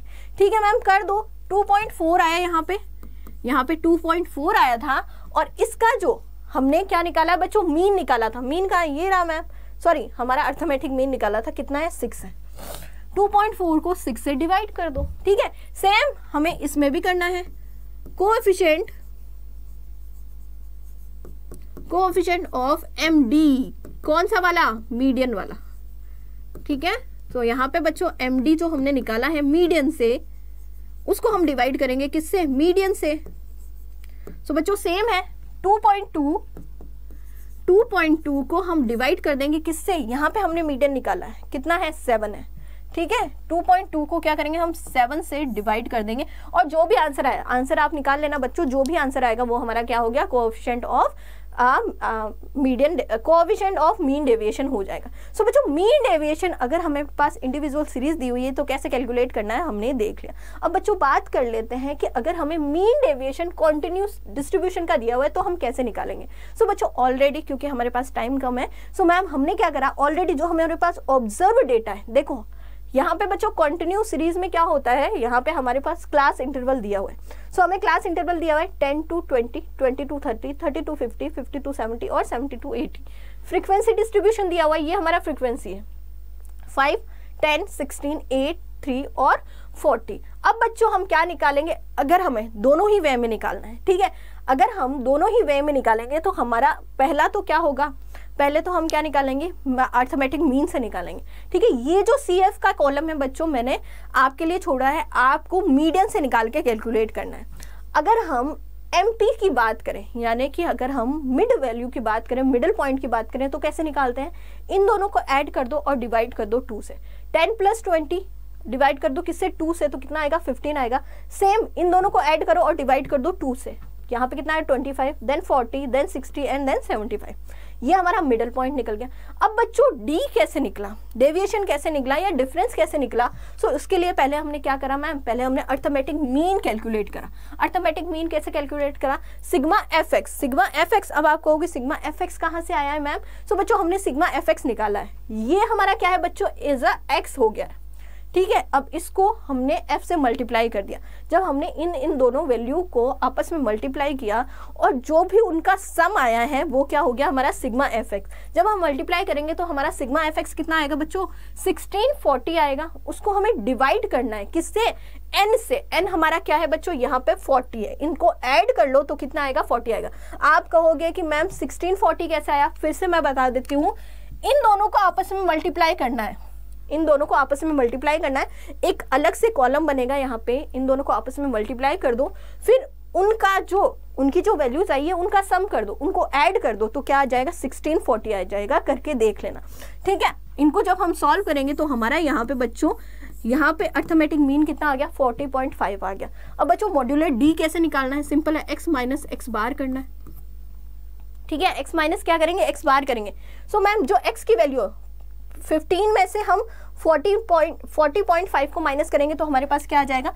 24 25.5 आ जाएगा। वैसे ही 25 में से हम 40.5 को माइनस करेंगे सो so आएगा हमारा 15.5 सेम ऐसे ही 40 में से हम क्या करेंगे? 40.5 को माइनस करेंगे देन आ जाएगा हमारा 15.5 सॉरी 0.5 देन 60 में से हम क्या करेंगे मैम 40.5 को माइनस करेंगे देन आ जाएगा हमारा 19.5 सेम एज इट इज़ हम क्या करेंगे? 75 में से हम इसको 40.5 को माइनस करेंगे देन हमारा आ जाएगा यहाँ पे 34.5 ठीक है, ये हमारे पास आ गया। अब क्या लास्ट बचा है? अब जो एफ़ है बच्चों जो हमारी फ्रिक्वेंसी है उसको इस वैल्यू से मल्टीप्लाई कर दो। जब हम इस वैल्यू से मल्टीप्लाई कर देंगे तो हमारे पास क्या आ जाएगा? F D F modular D आ जाएगा। सो so, हमारा एफ़ मॉड्यूलर डी यानी 127.5 आ गया 124.5 आ गया 8 आ गया 156 आ गया और 103 आ गया। आपस में मल्टीप्लाई करके देखना 5 को 25.5 से मल्टीप्लाई करना 8 को 15.5 से मल्टीप्लाई करना 3 को 34.5 से मल्टीप्लाई करना। ये जब आ जाए तो इनका सम कर लो। इनका सम कर लो। जब हम इनका सम करेंगे तो क्या वैल्यूज़ आएगी? Five nine five one nine आएगी। ये क्या है हमारा? सिग्मा एफ़ मॉड्यूलर डी क्या है ये हमारा? सिग्मा एफ़ मॉड्यूलर डी है बच्चों। ठीक है? अब बच्चों क्या करना है? अब मैम सिंपल सा है। अब तो हमें फॉर्मूला यहाँ पे लगाना है। सो हमारा यहाँ पे एम डी का फॉर्मूला क्या है? एम डी हमारा अर्थमेटिक मीन का sigma F modular D upon में एन करना है। अब बच्चों, सिग्मा एफ़ मॉड्यूलर डी कितना है? फाइव वन नाइन है। कितना है बच्चों? फाइव वन नाइन है। एन कितना है? अभी निकाला है, फोर्टी है। ये हमारा एन है। ठीक है, एन है हमारा फोर्टी। कर दो सॉल्व। जब हम इसको सॉल्व करेंगे तो क्या वैल्यूज़ आएँगी यहाँ पे? जब हम इसको सॉल्व करेंगे तो हमारा आ जाएगा यहाँ पे ट्वेल्व पॉइंट, यहाँ पे आएगा twelve point two seven five. ठीक है? सॉरी, हमारा यहाँ पे आएगा nine seven five. Nine seven five. ये हमारा एब्सोल्यूट मेज़रमेंट है। रिलेटिव मेज़रमेंट अगर हमें निकालना है तो हमारा क्या होगा? कोएफिशिएंट ऑफ़ एमडी कैसे निकालेंगे? ये हमारा अर्थमेटिक अर्थमेटिक मीन का है। ठीक है फॉर्मूला है हमारा एम डी अर्थमेटिक मीन का अपॉन में अर्थमेटिक मीन ठीक है, मैम, अब निकाल लो। सो बच्चों, यहाँ पे हमारा आ जाएगा। Twelve point nine seven five upon में अर्थमेटिक मीन कितना निकला है? Forty point five. तो यहाँ लिख दो, फोर्टी पॉइंट फाइव हमारा क्या हो जाएगा? इनको सॉल्व करेंगे ना जब बच्चों तो हमारा क्या आ जाएगा? मीन डेविएशन आ जाएगा। अच्छा ये जो कॉन्टिन्यू सीरीज़ से हमने अर्थमेटिक मीन से कैलकुलेट किया मीडियन से आप कैसे कैलकुलेट करोगे? मीडियन से कैलकुलेट करना ईजी है। आप एन प्लस टू करना बच्चों सबसे पहले मीडियन कैलकुलेट करने के लिए। सो एन प्लस टू यानी फोर्टी अपॉन में टू करोगे तो कितना आ जाएगा? ट्वेंटी आ जाएगा। ट्वेंटी की जो हमारी सी एफ़ होगी ट्वेंटी की हमारी जो ट्वेंटी से ऊपर की जो सी एफ़ होगी, यानी ये ये हमारा क्या हो जाएगा? हमारा यहाँ पे बच्चों, इसी से हम क्या करेंगे? हम मीडियन को कैलकुलेट करेंगे। मीडियन को कंटिन्यू सीरीज़ में कैसे कैलकुलेट करना है? सेम वैसे ही कैलकुलेट करना है। जब हमारे पास मीडियन की वैल्यू आ जाएगी सो हम इजीली ये जो फॉर्मूला है वो लगा लेंगे। सो मैम हमारे पास क्या आ जाएगा? हमारे पास मीडियन से सॉरी हाँ मीडियन से मीन डेविएशन आ जाएगा। ठीक है बच्चों, अब नेक्स्ट अगर हम मीडियन के बारे में बात करें so median deviation is based on all value जो हमारा सॉरी मीन डेविएशन है वो क्या होता है बच्चों? सारी ही वैल्यूज़ पे बेस्ड होता है। A change in one value will effected अगर किसी भी वैल्यू में चेंज हुआ है सो वो इफ़ेक्ट डालता है हमारे मीन डेविएशन में। Mean deviation is the least when calculation from median हमारा जो मीन डेविएशन अगर हम कैलकुलेट करते हैं मीडियन से तो वो क्या होता है? कम होता है। वहीं बच्चों हायर होता है कब? जब हम मीन से अर्थमेटिक मीन से कैलकुलेट करते हैं तो वो हायर होता है। It ignore the sign of deviation and cannot be calculate for open ended distribution अगर हम ओपन एंडेड डिस्ट्रीब्यूशन की बात करें तो जो मीडियन सॉरी uh, जो मीन डेविएशन है वो कैलकुलेट नहीं कर सकता। और बच्चों ये क्या करता है? इसकी सबसे बड़ी जो प्रॉब्लम है या सबसे बड़ी जो कमी है वो यही है कि ये जो साइन है उसको इग्नोर करता है। और साइन इग्नोर करने से बच्चों जो एक्चुअल रिज़ल्ट है, वो नहीं मिल पाता हमें। ठीक है? अब बच्चों, अगर हम बात करें स्टैंडर्ड एविएशन की, जो कि सबसे ज़्यादा यूज़ होता है, अगर हम किसी भी एडवांस स्टडी की बात करें या रिसर्च की बात करें तो सबसे ज़्यादा पूरे वर्ल्ड में जो यूज़ होता है, वो स्टैंडर्ड एविएशन है। Standard aviation is the positive square root of mean of square deviation of mean standard aviation क्या होता है? बच्चों, हमेशा ध्यान रखना, ये पॉजिटिव स्क्वायर रूट है किसका? या स्क्वायर डेविएशन है बच्चों मीन का। ठीक है? The mean of these square deviation is the variance अगर हम बच्चों स्क्वायर डेविएशन का जो मीन करते हैं तो वो हमारे लिए क्या हो जाता है? वेरियांस हो जाता है। नेक्स्ट हम देखेंगे positive square root of variance is the standard deviation और वही अगर हम जो स्क्वायर रूट ऑफ़ वेरियांस करते हैं। Positive square root of variance ही क्या है बच्चों? हमारे लिए स्टैंडर्ड डेविएशन है। Standard deviation is calculate on the basis of mean only अगर हम मीन डेविएशन की बात करें तो अर्थमेटिक मीन और मैम हम मीडियन से दोनों से कैलकुलेट कर सकते हैं। पर हम अगर स्टैंडर्ड डेविएशन की बात करें तो ये सिर्फ़ कैलकुलेट होता है किसके बेसिस पे? सिर्फ़ अर्थमेटिक मीन के बेसिस पे कैलकुलेट होगा। नेक्स्ट हम देखेंगे बच्चों the sum of deviation from value other than actual mean will not equal to zero अच्छा फोर मेथड है बच्चों हमारे स्टैंडर्ड डेविएशन को कैलकुलेट करने के लिए. Actual method assume mean method direct method और बच्चों, अगर हमारे पास इंडिविजुअल सीरीज़ है तो डायरेक्ट मेथड और स्टेप डेविएशन मेथड अगर हम एक्चुअल मीन एक्चुअल जो हमारा एवरेज मेथड है या एक्चुअल मीन मेथड है, उसको छोड़ के अगर कोई भी अगर हम दूसरे मेथड का यूज़ करते हैं जैसे आ, हमारा अज्यूम मीन मेथड या स्टेप डेविएशन मेथड या डायरेक्ट मेथड सो बच्चों हमारे जो यहाँ पे डेविएशन की जो वैल्यू आएगी जो वेरिएशन की वैल्यू है जो हमने निकाला था मॉड्यूलर डी करके वो ज़ीरो नहीं होगी। पर अगर हम एक्चुअल वैल्यू से निकालेंगे तो वो ज़ीरो के इक्वल होगी। नेक्स्ट हम बात करेंगे standard deviation is not affected by the value of the constant from which deviation are calculated अब जो स्टैंडर्ड डेविएशन होता है, बच्चों, वो इफेक्टेड नहीं होता है, ठीक है? जो कांस्टेंट वैल्यू होती है, उससे इफेक्टेड नहीं होता है। नेक्स्ट है the value of the constant does not figure in the standard deviation formula और जो बच्चों कांस्टेंट फॉर्मूला कांस्टेंट जो वैल्यूज़ हैं, वो हम, हमारा जो स्टैंडर्ड डेविएशन का फॉर्मूला है, उसमें यूज़ नहीं करते। Standard deviation is independence of the origin और हमारा जो स्टैंडर्ड एविएशन होता है बच्चों वो क्या होता है? इंडिपेंडेंट होता है ओरिजिन से। मतलब इसमें ज़्यादा फ़र्क नहीं होता। पर यहाँ पे ध्यान रखना standard aviation scale scale of origin से सॉरी इंडिपेंडेंट ऑफ़ स्केल से यहाँ पे नहीं होता है वो यहाँ पे डिपेंडेंट होता है। ठीक है? सो so, यहाँ पे क्या है? इंडिपेंडेंट ऑफ़ ओरिजिन हमें देखने को मिलता है स्टैंडर्ड डेविएशन नेक्स्ट हम देखेंगे बच्चों स्टैंडर्ड डेविएशन को कैलकुलेट करने के लिए। यहाँ पे फोर मेथड है। ठीक है? फ़र्स्ट मेथड की बात करें तो एक्चुअल मीन मेथड है। फॉर्मूला क्या है बच्चों हमारा? हमने क्या कहा था?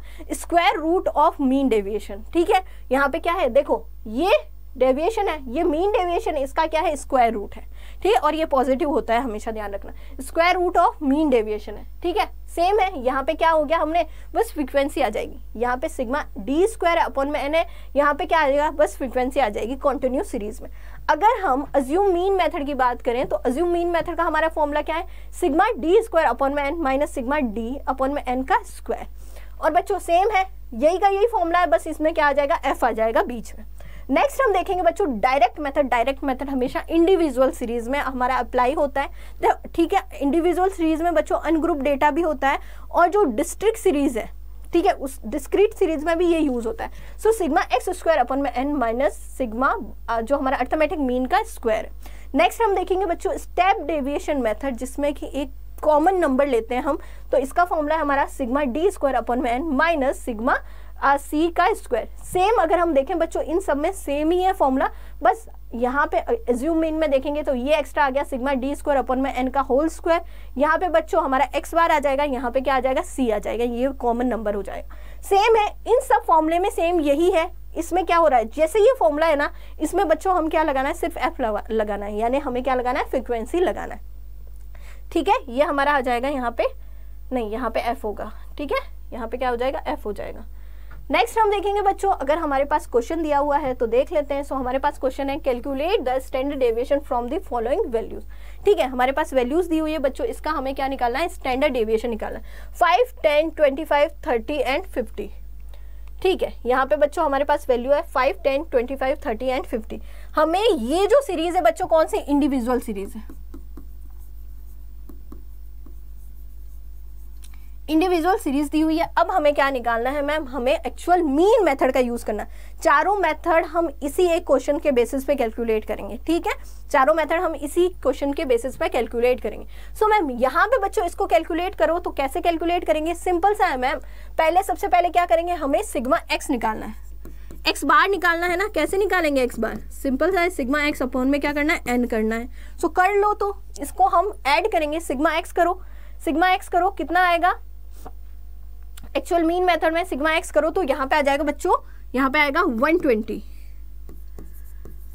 120 को अपॉन कर दो बच्चों number of observation one two three four five से। किससे? फाइव से। अब निकालो इसको, कितना आ जाएगा यहाँ पे?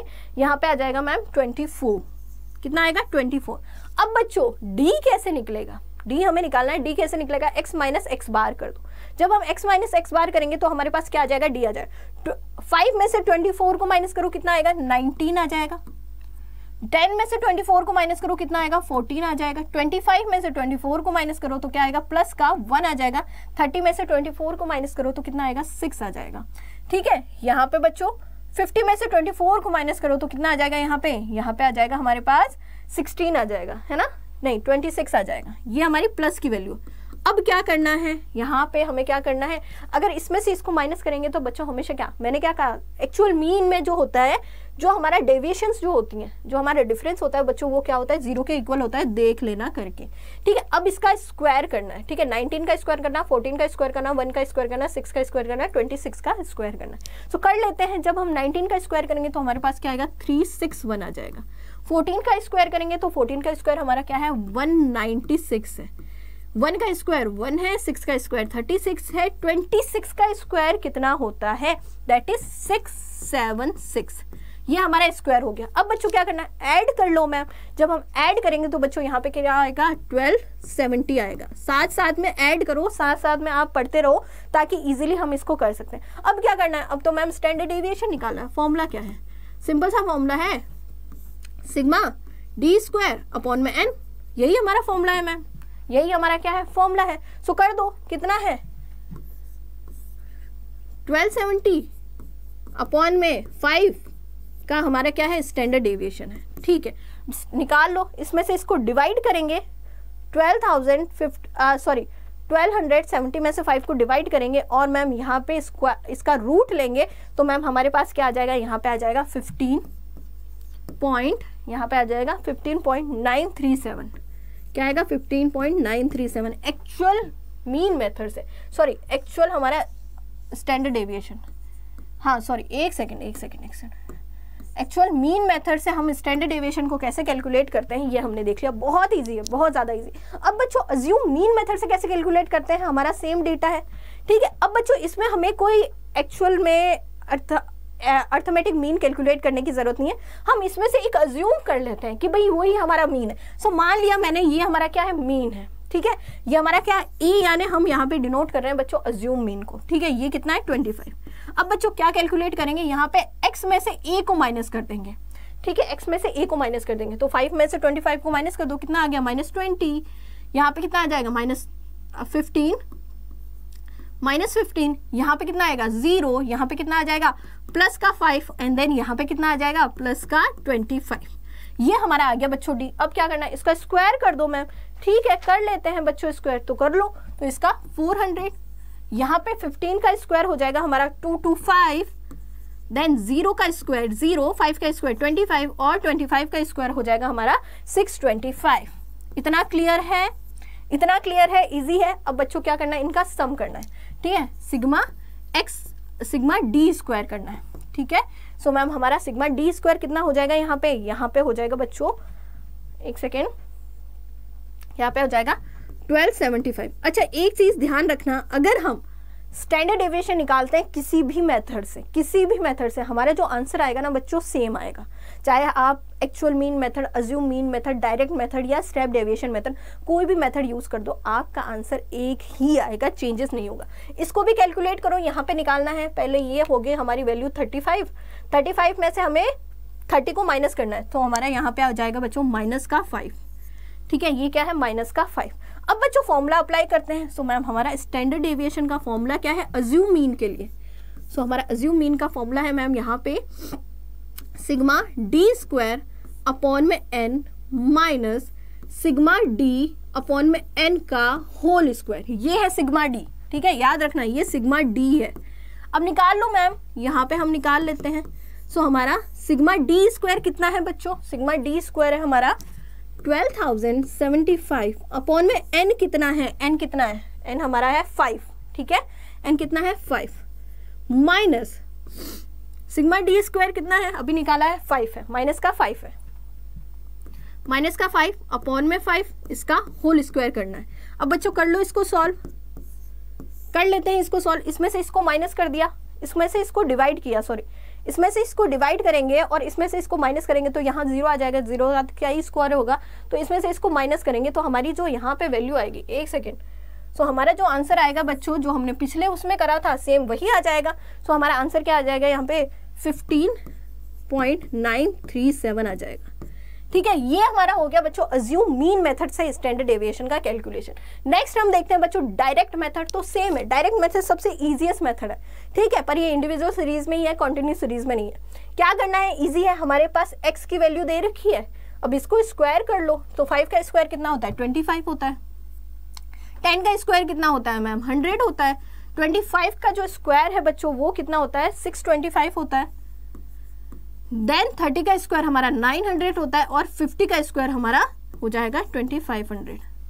ठीक है? ये हमारा स्क्वायर हो जाएगा। अब इसको ऐड कर लो। ऐड ऑन करेंगे तो हमारा यहाँ पे आ जाएगा सिग्मा एक्स स्क्वायर। कितना आएगा यहाँ पे? अगर हम देखें तो आ जाएगा forty one fifty. Forty one fifty अब क्या करना है? अब इजी है मैम स्टैंडर्ड एविएशन का फॉर्मूला लगाते हैं। हमारा स्टैंडर्ड एविएशन का फॉर्मूला है सिग्मा एक्स स्क्वायर अपॉन में एन माइनस हमारा एक्स बार का हमारा एक्स बार ठीक है? हमारा एक्स बार का स्क्वायर सॉरी एक्स बार का स्क्वायर सो हम यहाँ पे कैलकुलेट कर लेते हैं सिग्मा एक्स स्क्वायर कितना है, अभी निकाला है that is four one five zero upon में एन कितना है? फाइव है minus x bar x bar कितना है हमारा? एक्स बार का स्क्वायर कितना है? अच्छा एक्स बार तो हमने निकाला ही नहीं। एक्स बार हमारा कितना हो जाएगा यहाँ पे? इनको ऐड करो। इनको ऐड करेंगे तो यहाँ पे आ जाएगा वन ट्वेंटी एक्स बार हम निकाल लेते हैं सिग्मा एक्स अपॉन में एन तो यहाँ पे वन ट्वेंटी अपॉन में फाइव करेंगे तो यहाँ पे आ जाएगा ट्वेंटी फोर ठीक है, पिछली बार में ही पिछली बार में ही कर लिया था हमने ये स्क्वायर कर दो इसको।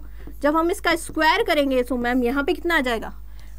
450 को हम डिवाइड करेंगे 5 से और 24 का स्क्वायर करेंगे सो मैम यहाँ पे आ जाएगा हमारा 254 अब हम इसका स्क्वायर लेंगे तो हमारा आंसर क्या आएगा? बच्चों, यहाँ पे दैट इज़ हमारा आंसर आ जाएगा 15.937 हमने बच्चों तीन मेथड यूज़ किए और तीनों ही मेथड से हमें पता चला है कि तीनों मेथड कोई भी मेथड यूज़ कर लो अगर सेम डेटा ऑफ़ ऑब्जर्वेशन है सो हमारा स्टैंडर्ड डेविएशन तीनों ही मेथड में क्या होगा? एक जैसा आएगा इक्वल होगा।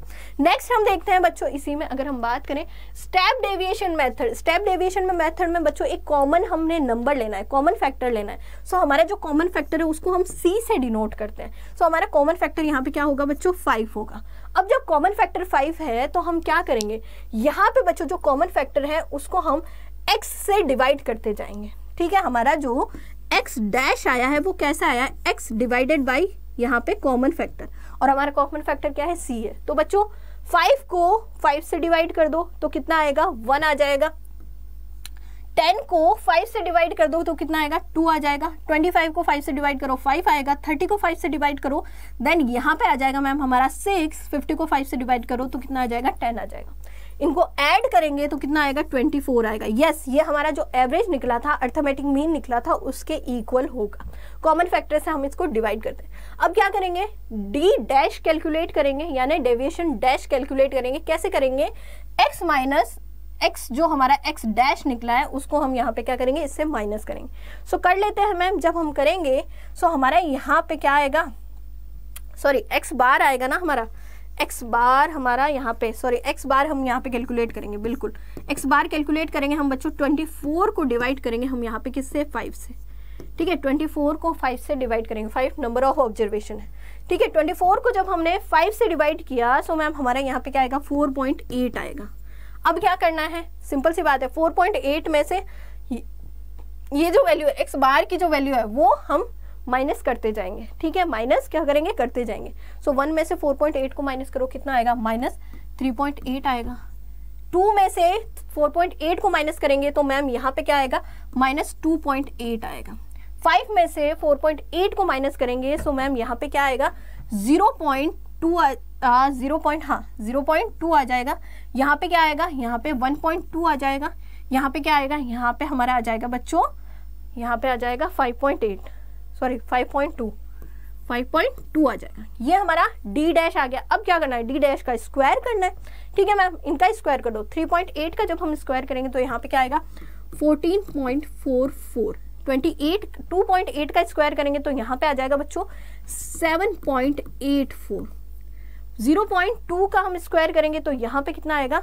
0.04 1.2 का स्क्वायर करेंगे तो यहाँ आएगा 1.44 5.2 का स्क्वायर करेंगे तो यहाँ पे आएगा 27.04 ये हमारा बच्चों आ गया डी स्क्वायर अब क्या करना है? इनका सम करना है। सम डी स्क्वायर ठीक है? समीशन ऑफ़ डी स्क्वायर करेंगे तो हमारा यहाँ पे क्या आएगा? 50.80 ठीक है? 50.80 और यहाँ पे हमारा आ ही गया था हमारा सिग्मा डी डैश ठीक है? अब क्या करना है? फॉर्मूला लगाना है मैम तो लगा लेते हैं। तो हमारा स्टैंडर्ड एविएशन का फॉर्मूला है बच्चों सिग्मा डी स्क्वायर अपॉन में एन माइनस सी का होल स्क्वायर ठीक है? कर लेते हैं सॉल्व सो so, हमारा सिग्मा डी स्क्वायर कितना है that is fifty point eight zero upon में एन कितना है? फाइव है माइनस फाइव का होल स्क्वायर करेंगे इसको सॉल्व जब हम इसको सॉल्व करेंगे तो हमारा आंसर क्या आएगा मैम यहाँ पे? हमारा आंसर आ जाएगा बच्चों, यहाँ पे आएगा हमारा टेन पॉइंट एक सेकेंड इसको यहाँ से इससे डिवाइड करेंगे तो यहाँ आएगा ten point one six multiply यहाँ पे आ जाएगा बच्चों हमारे पास, एक मिनट एक सेकेंड एक सेकेंड क्या इसका स्क्वायर हम नहीं करेंगे क्या?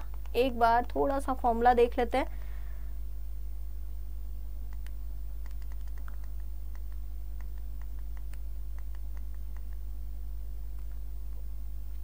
तो इसका, ठीक है, नहीं, यहाँ पे स्क्वायर नहीं होगा ये, ठीक है, ये स्क्वायर नहीं होगा तो यहाँ पे फाइव आ जाएगा, और जब हम इसको सॉल्व करेंगे तो हमारा यहाँ पे आंसर क्या आएगा? सेम आंसर आ जाएगा बच्चों यहाँ पे। एक सेकेंड इसको करके देख लेते हैं। थोड़ा सा मुझे इसमें थोड़ा सा डाउट हो रहा है इस क्वेश्चन में।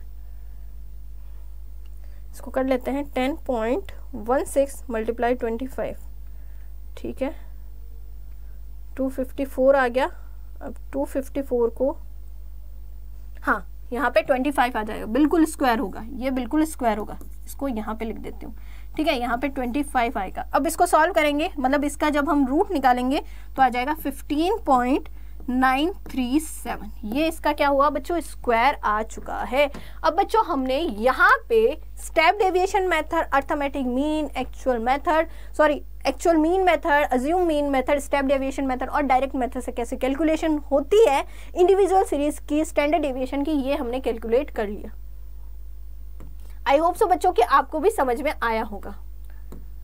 ठीक है? और ये न्यूमेरिकल क्वेश्चन है, जब तक आप खुद बच्चों पेन कॉपी लेके नहीं बैठोगे, इसको सॉल्व नहीं करोगे, तब तक ये समझ में नहीं आएँगे नेक्स्ट अगर हम कंटिन्यू सीरीज़ की बात करते हैं बच्चों सो हमारा यहाँ पे कंटिन्यू सीरीज़ को हमने यहाँ पे सॉल्व करा है सो कंटिन्यू सीरीज़ में हमारे पास बच्चों क्लास इंटरवल दे रखा है, ठीक है? Ten twenty twenty thirty thirty fifty fifty seventy या सेवेंटी एटी ठीक है? सेम ही है, हमने क्या कहा था? मैंने क्या कहा था? जो हमें फॉर्मूला दिया हुआ उसमें हमें क्या लगाना है? फ्रिक्वेंसी लगाना है। जैसे कि अगर हमें स्टेप डेविएशन निकालना है सो हमें सिर्फ़ एफ़ लगाना है ठीक है? फॉर्मूले वैसे भी ऑलरेडी बता दिए नंबर ऑफ़ कंपनीज़ यानी एफ़ हमारे पास दिया हुआ है फ्रिक्वेंसी दी हुई है। हमें मिडल वैल्यूज़ निकालनी है मिड पॉइंट निकालना है तो इन दोनों को ऐड करो डिवाइड कर दो टू से। सो so, हमारे पास मिड पॉइंट आ जाएगा। एफ़ एम क्या करा हमने? इन दोनों को आपस में मल्टीप्लाई किया। जब इन दोनों को आपस में मल्टीप्लाई करेंगे तो यहाँ पे क्या आएगा? फिफ्टीन फाइव को फिफ्टीन से मल्टीप्लाई करो सेवेंटी फाइव एट को ट्वेंटी फाइव से मल्टीप्लाई करो तो कितना आएगा? टू हंड्रेड आएगा। ऐसे बच्चों, इन दोनों को आपस में क्या करो? मल्टीप्लाई करो तो आपका एफ़ एम आ जाएगा। अब क्या निकालना है? डी निकालना है। डी कैसे निकलेगा? सिंपल सी बात है, हमने क्या कहा था? सबसे पहले हमें क्या निकालना है? अर्थमेटिक मीन निकालना है। अर्थमेटिक मीन यानी सिक्सटीन ट्वेंटी को हम डिवाइड करेंगे फोर्टी से। तो क्या आ जाएगा? हमारे पास अर्थमेटिक मीन आ जाएगा और इस अर्थमेटिक मीन से हम क्या करेंगे? यहाँ पे x माइनस एक्स बार करना है। जो एक्स की वैल्यू है, ये हमारी एक्स की वैल्यू है, ठीक है?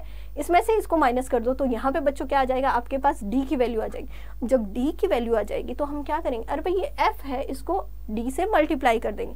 तो जब मल्टीप्लाई करेंगे तो हमारे पास एफ़ डी आ जाएगा। देन क्या है? फिर इस एफ़ को क्या करेंगे मैम हम यहाँ पे यहाँ पे सॉरी इस एफ़ को हमने डी से मल्टीप्लाई किया। एक minute.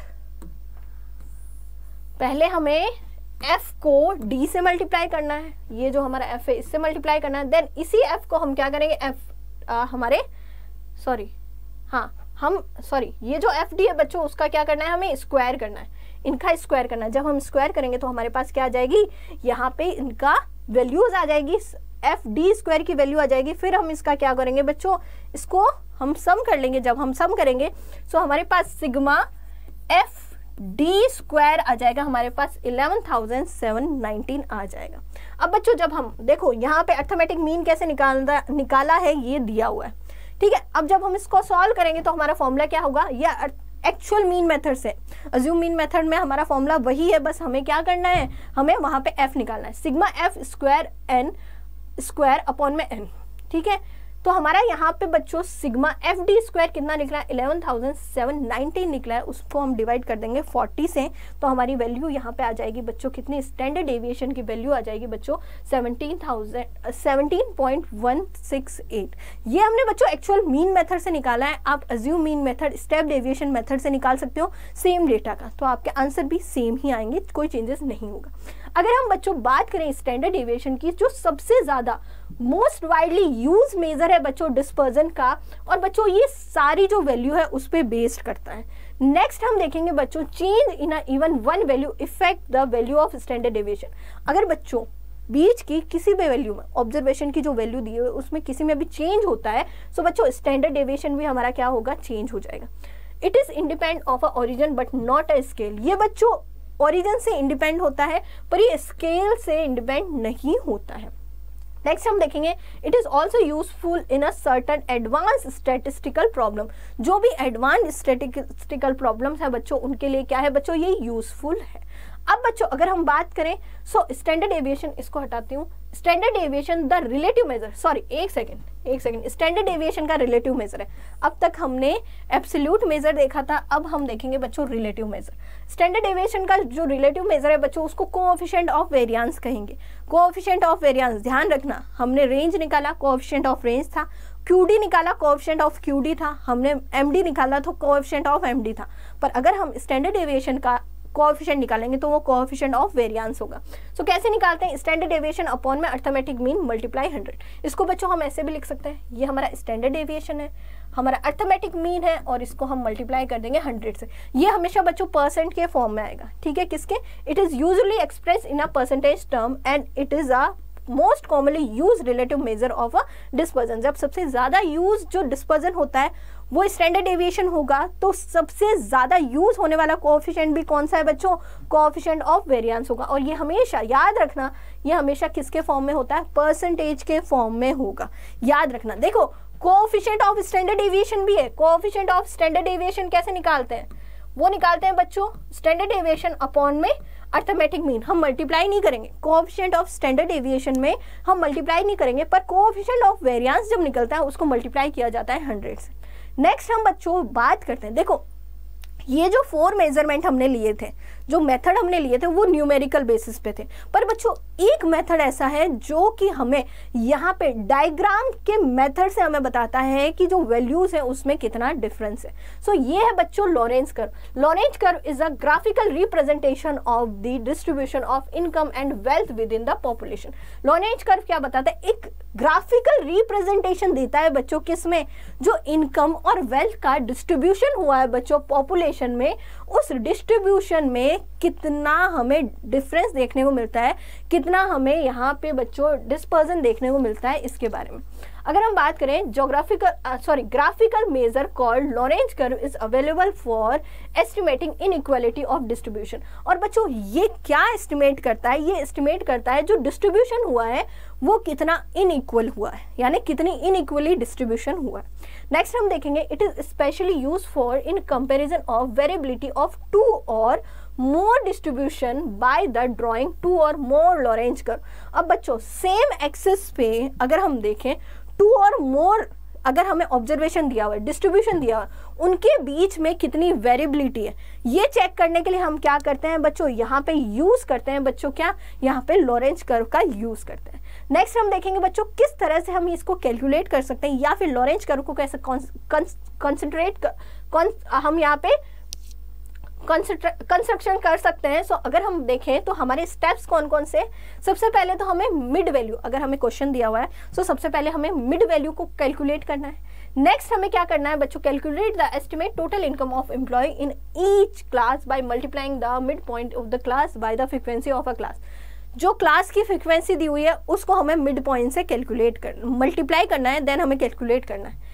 Express frequency in each class is percentage of the total frequency अब बच्चों, जो ये फ्रिक्वेंसी होगी, उनका मतलब जो इंडिविजुअल फ्रिक्वेंसी होगी ना, उसका टोटल फ्रिक्वेंसी से हमें परसेंटेज लेना है, ठीक है? नेक्स्ट हम देखेंगे बच्चों express total income of each class as a percent of a grand total of income उसके बाद में हमें इनकम का टोटल करना है। अब जो इनकम का टोटल होगा, उसमें जो इंडिविजुअल इनकम होगी, उनका हमें परसेंटेज करना है। फ्रीक्वेंसी का परसेंटेज क्या है? ऐसे इनकम का भी परसेंटेज होगा। नेक्स्ट है प्रिपेयर लेस देन कम्युनिटी हमें फिर सी एफ़ कैलकुलेट करना है क्यूमुलेटिव फ्रिक्वेंसी और हमें, देखो, हमें लेस देन क्यूमुलेटिव फ्रिक्वेंसी और बच्चों क्यूमुलेटिव इनकम कैलकुलेट करना है। यानी जो फ्रिक्वेंसी है, उनको ऐड करते हुए चलना है, और इनकम का जो परसेंट है, उसको भी ऐड करते हुए चलना है। The cumulative frequency of employ फिर हमें क्या निकालना है? एम्प्लॉयज़ का क्यूमुलेटिव फ्रिक्वेंसी निकालनी है। देन हम क्या करेंगे? Cumulative income going to this person उसके बाद में हमें पता चलेगा क्यूमुलेटिव इनकम कितनी है? एम्प्लॉयज़ की draw a line joining coordinate अब बच्चों हमें लाइन को यहाँ पे ज्वाइन uh, लाइन को हमें क्या करना है? यहाँ पे ड्रॉ करना है।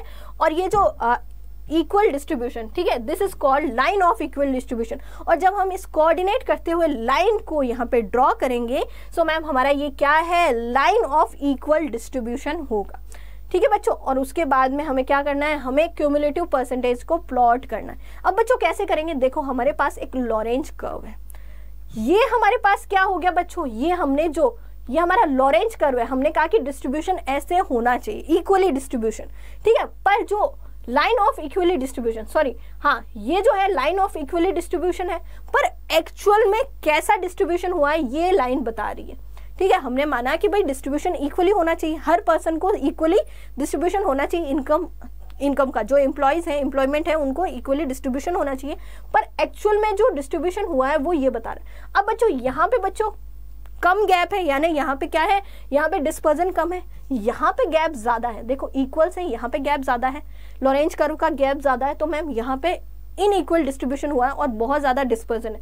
और यहाँ पे फिर क्या है? गैप कम है। तो मैम जितना ज़्यादा देखो इक्वली डिस्ट्रीब्यूशन से लाइन ऑफ़ इक्वली डिस्ट्रीब्यूशन से लॉरेंज कर्व जितना दूर होगा उतना ज़्यादा डिस्पर्जन या वेरिएशन होगा डेटा में। सो so, बच्चों ये हमने देखा लॉरेंज कर्व के बारे में। सो so, बच्चों आज के सेशन में हमने मेजर ऑफ़ डिस्पर्जन पढ़ा उसके रिलेटेड न्यूमेरिकल क्वेश्चंस देंगे। आज हमने ज़्यादा डीपली नहीं पढ़ा बच्चों पर अगर आपको ज़्यादा डीपली वीडियोस चाहिए हर कॉन्सेप्ट के अगर आपको न्यूमेरिकल क्वेश्चन चाहिए सो बच्चों न्यूमेरिकल क्वेश्चन मैंने ऑलरेडी वीडियोस में करा रखे हैं। सारे वीडियोस बच्चों प्ले में है और प्ले का लिंक आपको वीडियो के डिस्क्रिप्शन में दिया हुआ है। आई होप सो बच्चों कि आपको ये वीडियो पसंद आया होगा। Thank you